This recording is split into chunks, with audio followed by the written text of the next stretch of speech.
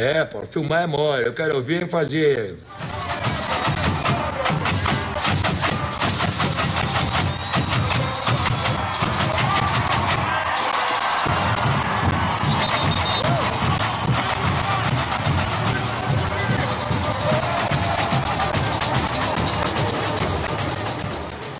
Samba é um muito melindroso.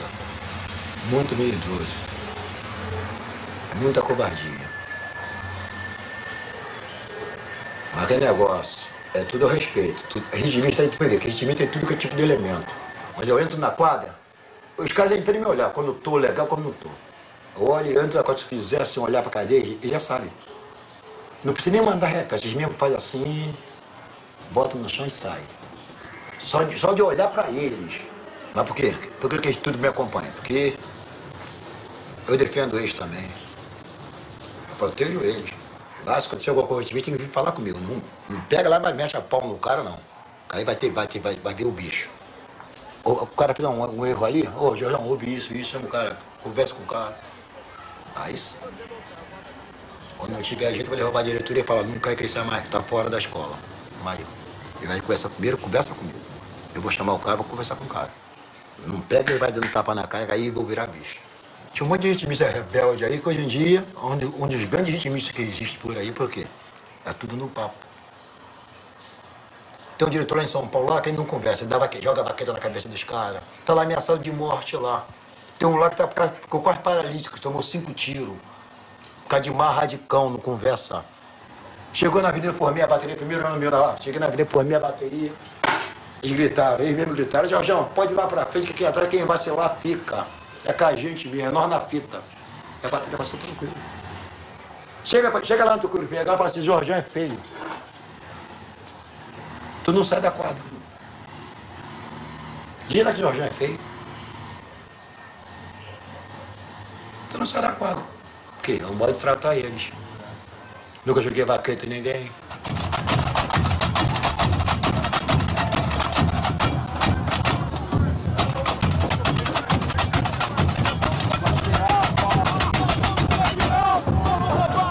De ritmista de bobo da corte. Sabe o que o ritmista é bobo da corte? Porque o ritmista tem que gostar muito daquilo que ele faz.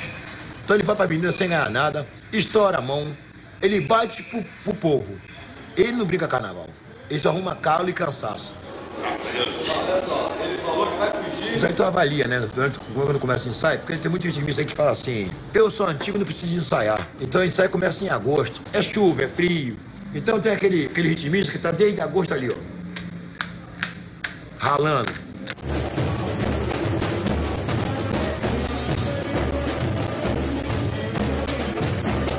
E você de tanto trabalhar com ritmista, o ouvido já vira um computador. Eu no meio de 280, tinha um errado, eu sei quem, quem, quem arruba nele certinho. Tanto é que na quarta-feira fizemos um ensaio sem, sem um som, a bateria cantando samba na cabeça, fizemos todas as paradas sem ter um erro sequer, porque ele tá com o samba de concentrado na cabeça. A hora que eu falei que eu faço a bateria ensaiar desse, desse sistema, porque caralho de falhar um som na avenida, deve evitar dar atravessar.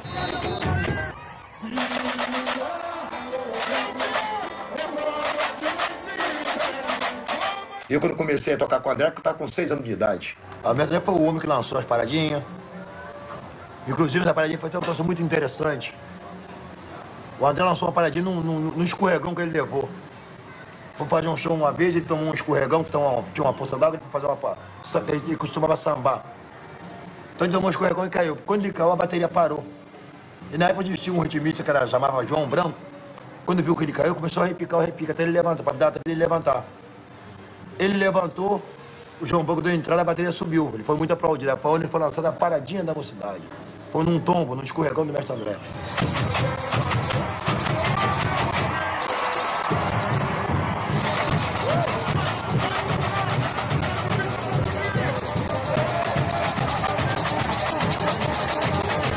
É o troféu foi na inauguração da Sapucaí. Eu que ganhei, mas só teve esse ano também. O estandarte de ouro que nós ganhamos em 92 e ganhamos em 91. Esses são os principais, né?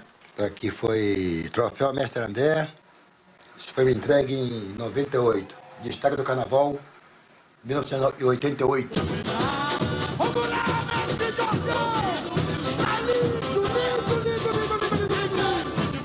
Queira ou não queira, eu já aprendo aqui bancada.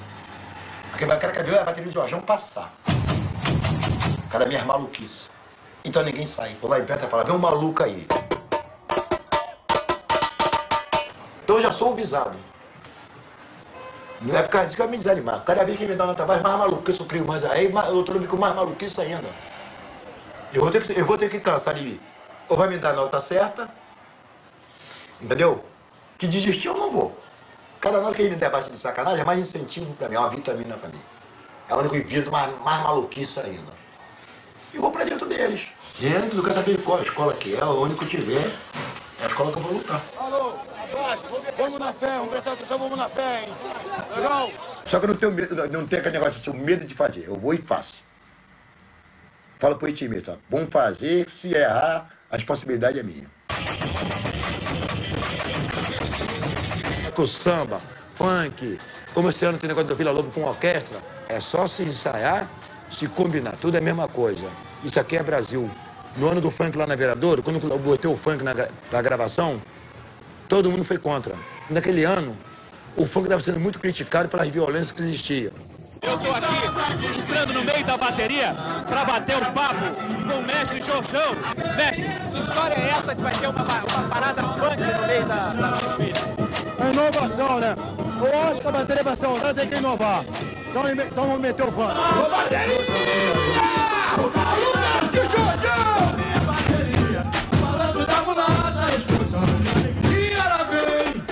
a viradora.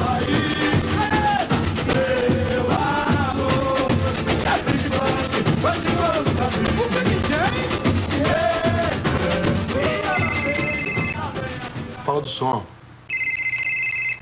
Alô? Oi, já tô indo pra cá já. Ah. Tá o carro tá com a bunda pro alto aqui. O preço tava sem freio, estourou o burrinho da roda de trás.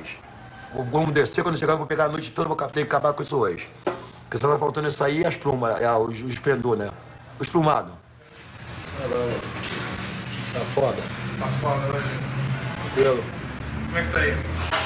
Cansado da pampa. Andando que não condenado. Estamos já desde sexta-feira, semana passada, sem em casa, dormindo direto. E pano direto na quadra, sem dormir. A fogo. Foi de cinco lugares ainda. Deus quiser. Vou São Gonçalo, vou tirar dentro de São Gonçalo, vim para o centro de Niterói, vou pro Barracão da Vereadora, Barracão da Mocidade, Madureira, Cascadão, tô fudido. A hora aqui, ó. Já desfilando na abertura do Carnaval de 1999 na Marquês de Sapucaí, a partir das 8 da noite. Tropical, meio-dia e 20.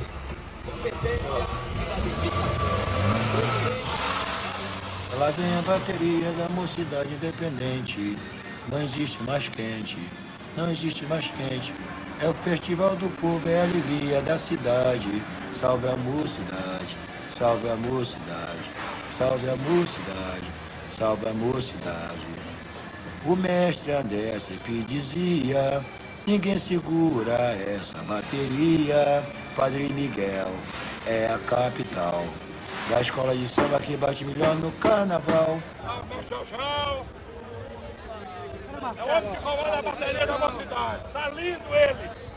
Porque lá em casa era o seguinte: ia nascendo, meu pai botava no colo e levava pro samba. Tanto é que a família toda tinha uma época do carnaval, a casa era fechada, que todo mundo descia para desfilar. A minha mãe foi a primeira, primeiro destaque da mocidade. Meu pai foi o segundo presidente da escola. Então, a gente somos 13 irmãos.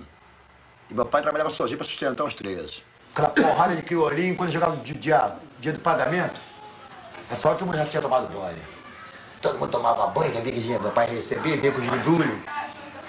Aí todo mundo na janela. Um dançando, minha mãe improvisava um negócio show lá. Tinha passista, tinha cantor, cada um fazia um troço. Tinha cortina, tinha pau pra caramba. Quando o olho falava que solto, chegou o papai, a piolada descia pra pegar os embrulhos. Pegava o embrulho, que eu chegava de casa, abria o embrulho, cavava com tudo uma vez só. Acabou. Aí depois do outro dia, todo mundo mais um mês, vai esperar a mesma merda. Aí, era mó barata. De pagamento tinha show e tudo.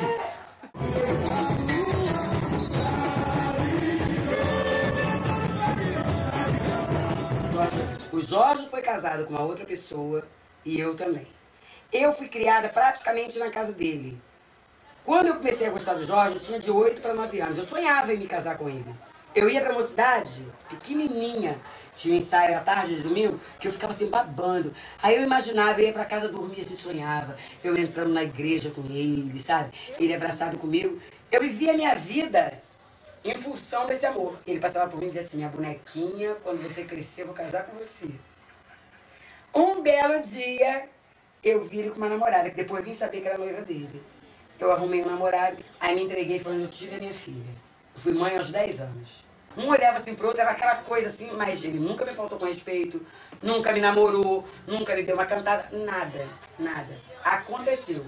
A irmã dele um belo dia foi na minha casa, pediu pra me fazer o cabelo dela, e a gente conversando primeiro amor e tal, não sei o que, já tinham se passado 20 anos. Falei, a paixão da minha vida sempre foi teu irmão. Ela falou, o que, João? Aí contei e tal, ela falou pra mim, e Jorge está se separando. Isso foi no dia 23 de dezembro. Amanhã, quando der meia-noite, eu vou trazer ele aqui na tua casa. Eu falei, é, mãe, não vai vir mesmo? Parece um troço. Quando deu 15 para meia-noite, não foi? Tô escutando a campainha. A irmã dele gritou, pode abrir a porta que eu sei que você tá aí dentro. Aí abri. Falou, trouxe um presente para você. Era ele. Entrou no seu mestre hoje. O carnaval, hoje em dia, o pessoal fala assim, o carnaval é do povo. Olha o carnaval é do povo. O carnaval do povo, o povo pode desfilar. Hoje em dia o povo não desfila. O povo não tem 450 mil reais, 350 mil reais para pagar uma fantasia. O povo não tem um, um dinheiro para comprar um ingresso, ele bota ingresso lá, os tubos. O povo não tiver televisão em casa para ficar vendo mulher pelada, que a televisão em casa não mostra, pô, desfile, mostra mulher pelada. Artista na televisão. O, o, o verdadeiro povo do carnaval não aparece na televisão. Mas infelizmente a gente pediu uma reunião para se conversar isso, a gente não é ouvido. Então a gente vai acompanhando a barca. Porque eu não vou, não vou nadar contra a maré, não sou maluco.